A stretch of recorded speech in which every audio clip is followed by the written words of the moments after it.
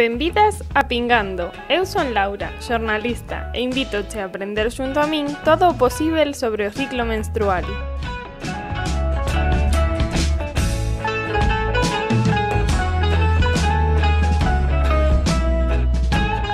Ola a todos e benvides a un novo episodio do podcast de Pingando. Hoxe estamos con María del Mar Fernández, que é matrona, e como xa sabedes neste podcast, as matronas ocupanse do do proceso de parto, pero tamén de todo o que ten que ver coa saúde sexual e reproductiva eh, digamos, das, das persoas e mulleres que menstruan.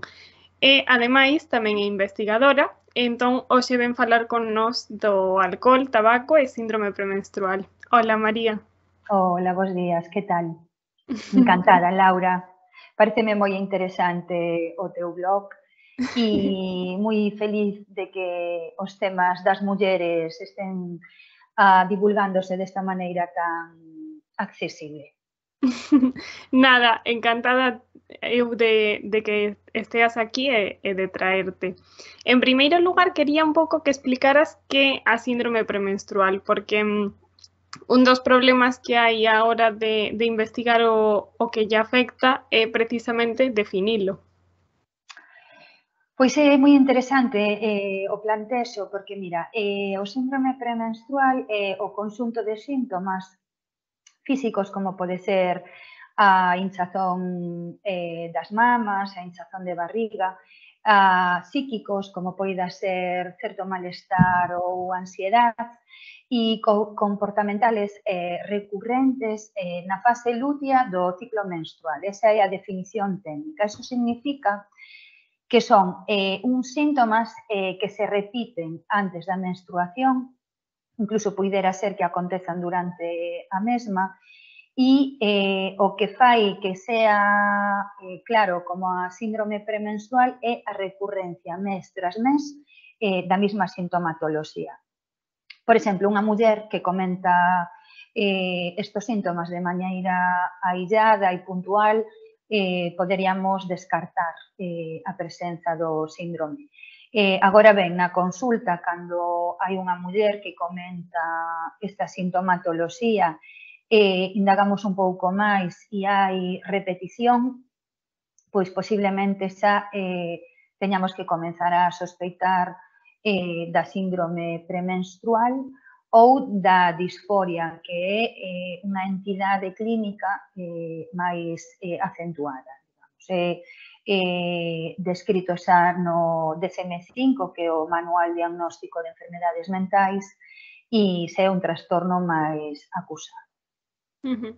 Entón, digamos que a importancia aquí para diagnosticarlo está sobre todo na clínica que non hai unha proba máis obxectiva ou, por exemplo, analíticas ou ecografías que nos permitan saber uh -huh. se estamos ante un síndrome premenstrual ou non? Pois sí, certo, polo momento eh, a diagnóstico, o diagnóstico establecémolo pola, pola sintomatoloxía e, e non hai nada eh, polo momento que se poida vencellar o diagnóstico. Hai eh, estudios prometedores en relación ao vínculo xenético eh, con esta síndrome, pero polo momento eh, non hai nada firme para, para poder diagnosticalo desde ese, desde ese punto de vista. Uh -huh. Uh -huh. Vale, entón eh, ti xunto con outro, bueno, co teu equipo de investigación eh, realizastedes uh -huh. unha metanálise que concluía que o risco de ter esta síndrome premenstrual era un 45% máis alto nas mulleres que beben alcohol e que inclusive o consumo excesivo podía aumentar esta cifra ata o 79%. Entón, uh -huh. que relación hai entre a síndrome premenstrual e o consumo de alcohol? Bueno, pois mira, antes que nada gustaríame introducir porque eh, se nos dou por estudiar eh, uh -huh. os factores de risco relacionados coa síndrome premenstrual. Eh, Mira, o equipo co que traballo, eu son a componente dun equipo eh, que dirixe o profesor Beji Takuts na Universidade de Medicina de Santiago, eh, teñen unha liña de investigación en relación ás enfermidades banais. Son enfermidades pouco graves, pero que poidan ocasionar eh, inconvintes na vida diaria ou eh, alto custo para os sistemas tanto de saúde como os sistemas sociais eh, pola pérdida de productividade ou de días traballados. Dentro dese contexto, eh, interesou eh, estudiar a síndrome premenstrual. Cando empezamos a indagar un pouco na síndrome, encontrámonos eh, coa sorpresa de que era unha síndrome pobremente estudiada, a pesar de que xa hai moitos anos que hai coñecemento dela, e con uns diseños duns estudios eh, de moi baixa calidade. Eso significa que as conclusións as que se poden chegar a raíz de esos estudios eh, son conclusións vagas e pouco sólidas como para poder facer desde elas eh, actitudes de prevención ou tratamentos eu penso que eso se, se entende bastante ben. Entón, os factores de risco xerais eh, estaban mal eh, estudiados eh, con moitos estudios contradictorios. Eh, cando fixemos a revisión, nos encontramos con que había diversencia, por exemplo, co alcohol. Neste caso que me estás preguntando por este factor, había estudios que concluían que sí que había asociación eh, coa síndrome premenstrual e outros estudios que non. Entón, eh, decatámonos de que non había unha metaanálisis feita, eh, que é o estudio que ten máis eh, potencia estadística a hora de tomar, eh, de concluir dunha maneira máis firme, en relación á asociación existente entre síndrome premenstrual o consumo de alcohol. E, eh, bueno, pois por aí eh, eh,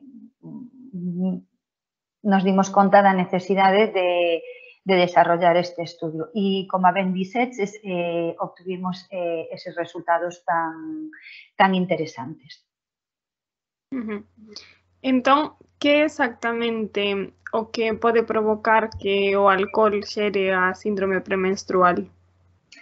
Pois non o podemos afirmar con toda claridade, pero sí que eh, non é descabellado vencellalo a unha acción eh, pola literatura revisada e, e polas conclusións ás que chegamos nos con noso traballo a unha eh, asociación eh, do efecto do alcohol nas hormonas sexuais, por un lado, e polo outro a unha eh, alteración da serotonina eh, relacionada tamén co, co consumo de alcohol, eh, que serían os que eh, de alguna maneira eh, explicarían mm, a acción do alcohol en relación ao maior risco para o desarrollo da, da síndrome premenstrual co, co consumo de alcohol.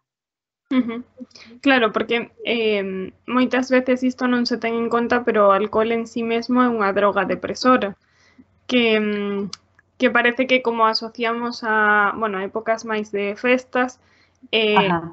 que ten, digamos que socialmente está asociado eh, o efecto contrario, Claro, sí, sí, moi adecuado que dis, certo é eh, que eh, é unha droga depresora e, e que está relacionado ca euforia e co aumento da, da actividade, pero é, o efecto é totalmente o, o contrario. E neste caso encontramos un efecto eh, moderado para, para o desenrolo do, do risco do síndrome premenstrual. Uh -huh eh, digamos que a nivel de, de Rúa, a min non me dá a sensación de que, de que se mencione o alcohol cando se fala de, de síndrome premenstrual.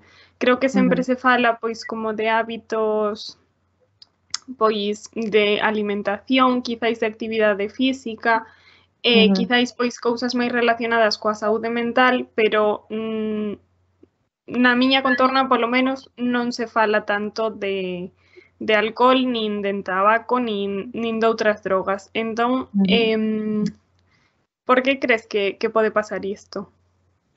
Pois responde un pouco o que, o que, o que comentaba ao principio, que si xa é de por sí eh, unha síndrome pouco coñecida no que te contaría, por exemplo, que as mulleres tardan uh, unha media de cinco anos en obter un, dia, un diagnóstico e teñen que pasar por tres ou catro profesionais para obter un diagnóstico adecuado, pois imagínate na rúa si xa no medio sanitario é algo eh, pouco a veces eh, contrastado e pouco coñecido, eh, o coñecemento que hai da síndrome a nivel da CADE eh, moi pobre.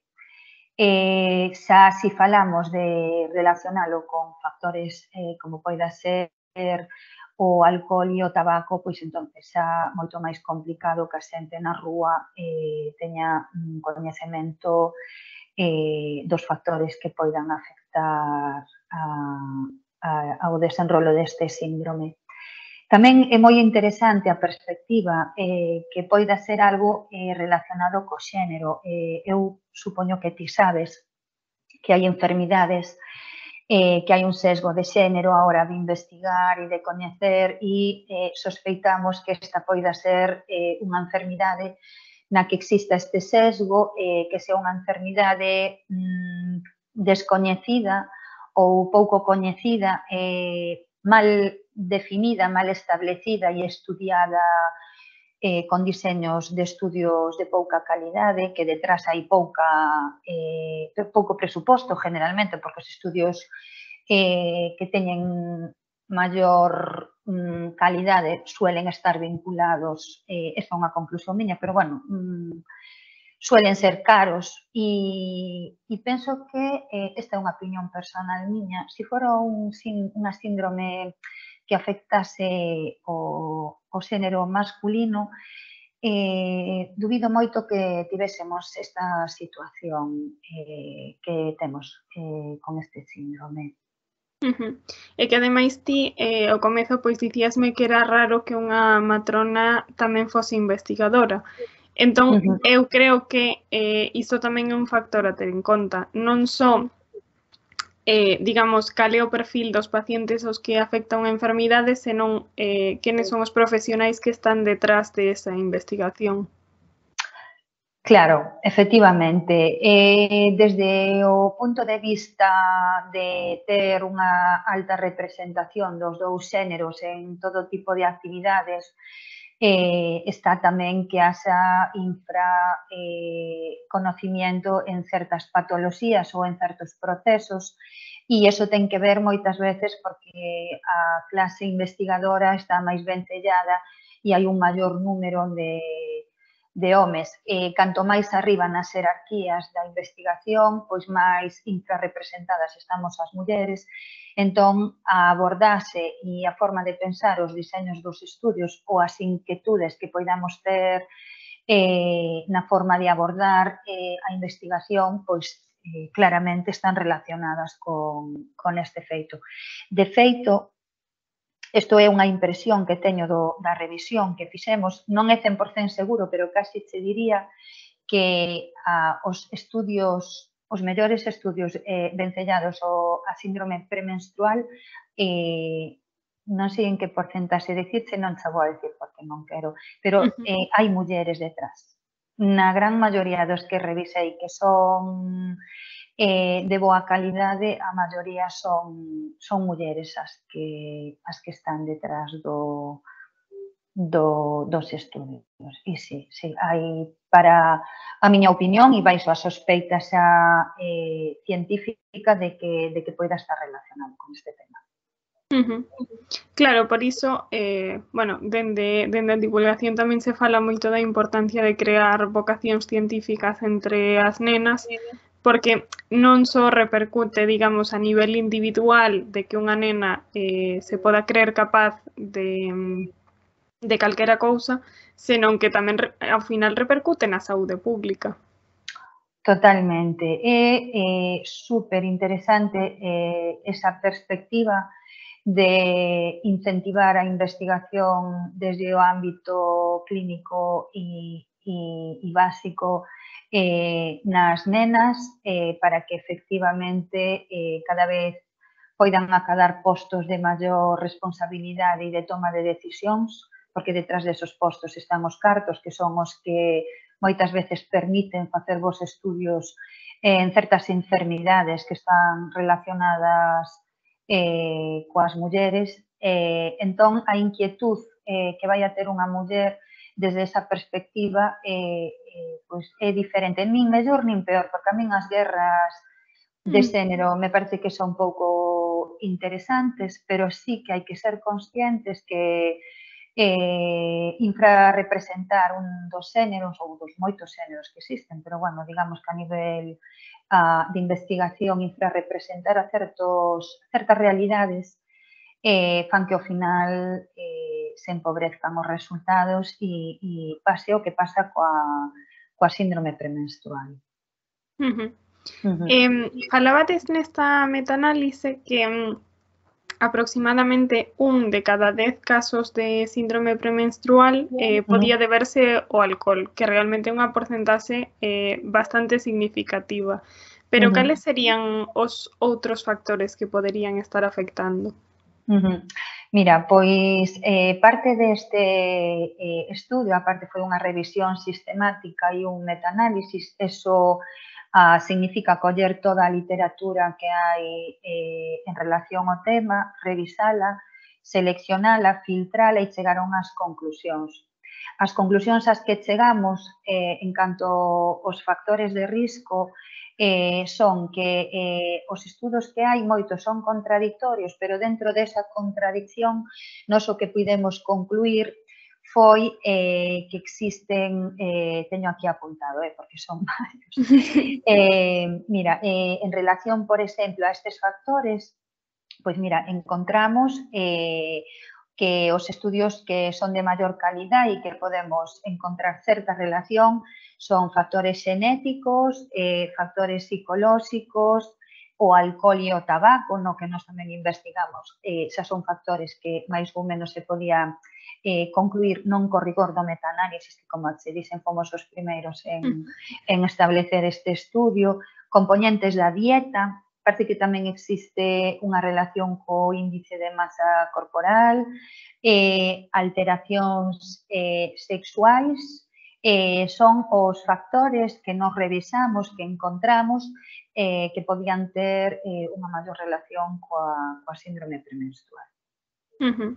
Uh -huh. Claro, eh, é que ao final son tantísimos que digamos, para topar un, un tratamento dentro do que xa comentaches que agora mesmo é difícil pola escasa investigación que hai, uh -huh. eh, para topar un tratamento realmente tes que descartar eh, moitas causas. Pois efectivamente, o ideal sería todos estes factores que apuntan a ser factores nos que se poida actuar, menos os genéticos que non son modificables, pero sí que poderían dar unha idea dun diagnóstico máis certeiro todos estes, estes factores no momento en que se convirten nunha eh, evidencia, se pode intervir, se pode mellorar a dieta, se pode eh, tratar de concienciar a poboación para atenuar ou eh, non consumir tabaco e alcohol ou consumir dunha maneira moderada. Entón, é certo que, como ben se decía, e é repetir sempre o mismo, pero que está detrás de casi todo o que podamos razonar, eh, o ter tan pouco coñecemento, pois certo é que hai moito traballo por diante e eh, convén, hai moito traballo e hai moito eh, por, por avanzar e, por outro lado, tamén o fai interesante, que é unha liña de investigación pois na que, na que se poida seguir traballando eh, e seguir afondando un pouco no, nas causas que, que os factores de risco que, que existen. Uh -huh. Claro, aquí eh, eu penso no que comentábamos de que as matronas están moi ligadas únicamente ao tema do parto, eh, bueno, uh -huh. ligadas, refírome á visión que se ten, non que se xa así. Eh, entón, creo que quizáis se máis eh, mulleres ou distintas persoas que presenten esta síndrome acudisen á consulta dunha matrona, Uh -huh. Aí se podería ter, eh, digamos, como unha maior base sobre, sobre a que traballar. Pois, efectivamente, eh, as matronas eh, somos eh, profesionais eh, que nos encargamos da vida sexual e reproductiva das mulleres ao longo de toda a súa etapa eh, sexual eh, reproductiva e post-reproductiva, eh, porque tamén a menopausia, e, a, e época posterior coas disfuncións do solo pelviano, as incontinencias. Somos profesionais que eh, alongamos a nosa asistencia a, ao longo de toda a vida da, da muller prácticamente. Entón, eh, somos profesionais eh, en xeral moi accesibles nos centros eh, de atención primaria, eh, nos que eh, en moitos sitios as mulleres xa teñen moi identificadas as nosas eh, funcións e de feito veñen e, e solicitan a nosa atención para moitos destos temas eh, relacionados coa dismenorrea, coa síndrome premenstrual, con outro tipo de alteracións nas que nos aínda que non somos os profesionais eh, encargados de establecer un tratamento, sí que somos eh, as profesionais que podemos eh, tratar de eh, detectar e eh, derivar dunha maneira máis certeira para que non pase eso que che comentaba de que unha muller eh, pase por tres ou catro profesionais antes de, de dar con eso que lle pasa, aquella angustia e que acontece eh, todos os meses de maneira sistemática, que unha vez que o pensamos e o, e o e, e lle damos a envergadura que ten, eh, pois é algo eh, certamente serio e para moitas mulleres pois un obstáculo para o desenrolo dunha vida normal. Entón, eu desde aquí animo as mulleres a acudir aos centros de saúde, a consultar coas súas matronas, que son os profesionais dentro da atención primaria, eh, para a saúde eh, sexual e reproductiva das mulleres. Nós que eh, van a ter eh, moita axuda e unha perspectiva especializada, que por eso bueno, eh, existimos dentro da, da atención primaria e dentro dos equipos de saúde. Uh -huh. Claro, eh, e que realmente cando falamos de síndrome premenstrual estamos falando dunha perda de calidade de vida bastante importante. E creo que para min precisamente a chave das matronas é que estades na atención primaria, co cal a accesibilidade eh, é moitísimo maior que, que calquera outro profesional, eh, digamos, dunha especialidade. Claro, eh, a perspectiva dos equipos eh, da atención primaria de saúde pois é eh, representar distintos roles profesionales que poidan cubrir diferentes necesidades da poboación. E o noso rol eh, en ese sentido eh, tristemente a veces non é ben coñecido por parte das mulleres. E certo é que hai eh, mulleres pois que perden a oportunidade, teñen un custo de oportunidade dunha atención máis especializada pola nosa parte que, que lles garantiría ou lles aportaría pois eh, moitas veces a forrar moito tempo, moita angustia e, moita a, a veces incomprensión por parte do sistema eh, neste tipo de, de síndromes. Uh -huh. Uh -huh. Eh, bueno, cando publicaxedes esta metaanálise falabades tamén eh, de que vos gustaría pois indagar o papel do tabaco eh, neste desenvolvemento da síndrome premenstrual. Eh, uh -huh. Podes falar un pouquiño deste, deste tema? Pois eh, este estudio eh, surdiu un pouco no contexto do anterior que te, que te comentaba e a diferencia do anterior no que non había unha metaanálise, neste caso sí que había un estudio con un diseño similar ao que empregamos nós e a idea foi replicar e ver se si obtiñamos, ou ti sabes que na eh, ciencia é importante tamén había uh -huh. solo un bo estudio e nós eh, tivemos a, a idea e, e un pouco eh, a, a necesidade de corroborar ese resultado con certas variacións no plantexo, pero digamos que xa existía un estudio con un diseño de, de, de boa calidade e nos encontramos eh, que efectivamente as fumadoras actuais eh, teñen un risco incrementado tamén para, para o desenrolo de, de síndrome premenstrual. Uh -huh. Este risco é exponencial, quero dicir, canto máis fumes, máis risco tes. Efectivamente, un risco dosis dependente que, que está asociado a, o aumento do consumo.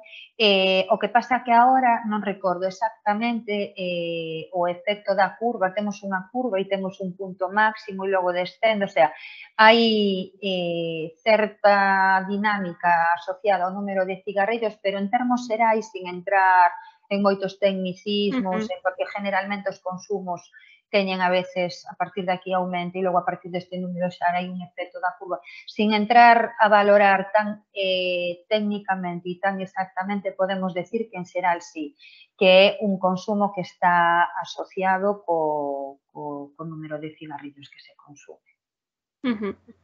Vale, e, e os motivos polos cales o, o tabaco estaría ligado á síndrome premenstrual, cales serían? Es, quero dicir, os mecanismos. Os mecanismos eh, son similares aos do alcohol tamén, están uh -huh. eh, relacionados cas hormonas sexuais e coa serotonina tamén. Tamén hai esa plausibilidade debido a que o, a nicotina afecta a esas vías, debido a que esas vías tamén afectan o, a síndrome premenstrual, pois eh, moi eh, posiblemente ese sea o mecanismo fisiopatolóxico eh, que explique a vinculación do efecto do tabaco na síndrome premenstrual. Uh -huh. Vale. Eh, digamos, o alcohol e o tabaco serían eh, dúas drogas de, de curso legal. Eh, Ajá. Con respecto ás, ás ilegais, non sei se hai investigacións feitas, se tedes pensado facelas, eh, cale un poquinho o panorama. Pois mira, o panorama actualmente eh, é que nos eh, no estudio que desenrolamos non recollemos ese factor, non enquisamos, non, non temos datos eh, sobre o consumo de drogas ilegais, o sea que pola nosa parte como equipo sería neste momento imposible eh, desenrolar estudios en relación ás drogas ilegais eh, porque carecemos desa mostra. Non é descabellado, se algún equipo está interesado, eh, bueno, podría ser unha, unha posible vía de, de, bueno, de estudio. O que sí te teño que decir en relación a isto é que deu de todo o que revisei non hai ningún indicio que apunte a consumo de drogas eh, ilegais. Non hai estudios nin de boa nin de mala calidade en relación a isto. Entón, bueno, sería algo eh, bueno interesante dependendo do tipo de poboación e do consumo que haxa, porque tamén teria que ser unha poboación na que haxa un consumo representativo para poder chegar a conclusións en relación a síndrome, pero bueno, decirse que bueno, pola nosa parte non non, non nin hai nada revisado mm, en relación ao tema, non, non recollín nada, non lín nada eh, nin das conclusións que che, que che comentei antes, nin do que recordo lido, nin siquiera mencionado, estou pensando ao mesmo tempo que che comento, pero non, non recordo que exista nada en relación a, a este tema. E, e bueno, podería ser algo, sí, como xa te digo, como é algo, é como un casi un folio en blanco no que se poida uh -huh eh, intentar eh, indagar por moitos por moitos por moitos sitios eh, interesante tamén uh -huh. sería mm. claro sí. que eu pensaba no sentido de que mm, falábamos de que o alcohol é unha droga depresora entón Ajá. pensaba no sentido de se outras drogas depresoras teñen eh, efectos similares e logo uh -huh. eh, que efectos terían as drogas estimulantes que serían digamos un pouco antagónicas Entón, eh, bueno, antagónicas eh, nos efectos. Logo, eh, imagino que se actúan nas mesmas vías tamén poderían influir da, da mesma maneira. O uh, que pasa que, bueno, é un tema super complexo no que habería que empezar. Mira, habería que empezar xa desde cero eh, revisando cada unha das drogas e vendo claro. eh, o que hai eh, sería super interesante, eh, pero vendo o efecto que hai nas vías fisiopatolóxicas que se están detectadas no síndrome premenstrual e ver se si hai con cada unha desas drogas descrito algo en relación a esas vías, que neste caso serían hormonas sexuais e serotonina, ver que efecto teñen e se hai un efecto similar para eh, o efecto desas drogas co síndrome premenstrual podería abrir unha línea, podería abrir un camiño para poder animar a algún equipo a, a, a explorar. Pero, vamos, mmm, moito traballo, moito que ver e, e ao mellor incluso habería que eh, iniciar estudios para ver cal é o efecto desas drogas en relación ás hormonas sexuais que moi posiblemente exista pouco, non sei se me atrevo a decir nada porque é atrevido pero, bueno, mmm, poida ser eh, un traballo que xa que facer desde moi, desde moi da base. Uh -huh.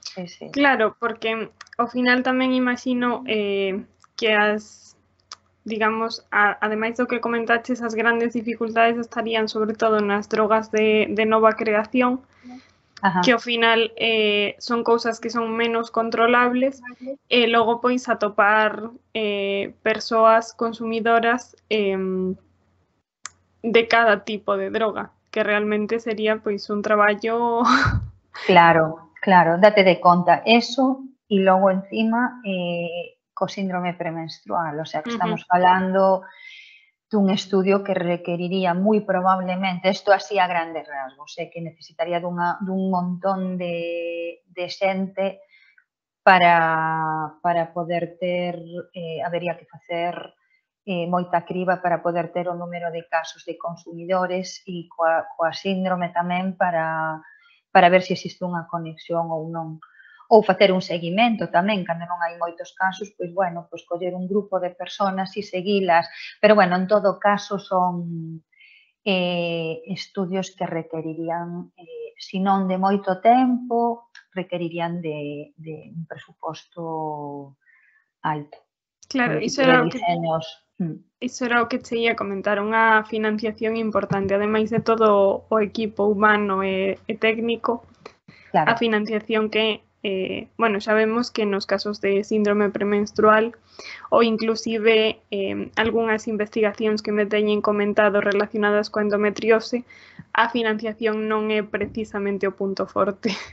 Claro, está, está ben sellado tamén o mesmo. A endometriosis tamén é un bo exemplo de, de do que estamos falando, co cal, pois eh, é un pouco tamén eh, unha enfermidade que seguramente eh, pois teña as mesmas eh, características eh, a nivel de escasez eh, de recursos, con diseños descoñezo, eh, non é o meu tema, nin, pero bueno, me poida eh, dar a impresión de que está un pouco no mismo no mismo saco que, que a síndrome premenstrual tamén. Mm. Uh -huh. Sí. Bueno, pois eh, genial María, moitísimas grazas por bueno. por vir aquí, eh, por vir a contar a túa investigación e tamén grazas por por investigalo, que non está de máis agradecer esas cousas. Bueno, Laura, pois gracias a ti e animarte a que sigas divulgando o traballo de outras eh, compañeiros e compañeiras e que a xente a, cada vez teña unha información mellor e, e nada, e, me encanta o teu traballo, me parece super chulo e, e gracias a ti por invitarme.